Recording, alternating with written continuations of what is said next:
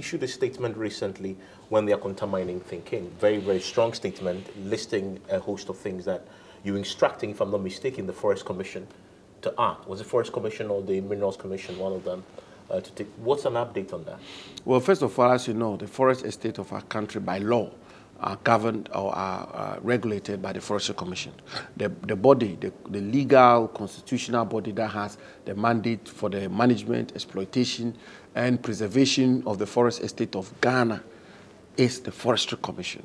And therefore, when a matter affects the forest, uh, forest reserves of our country, the body that acts on it has always been, is, and will always be, unless we change the law, the Forestry Commission.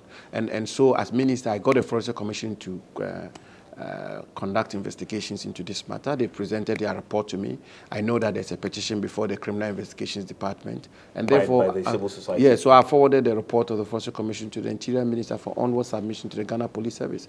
The police themselves have written to me for some uh, you know, information of a sort, and I provided them with that information. I keep making the point. The matter to do with Akonta Mining, with the greatest of respect, uh, I brought it up to the national discussion.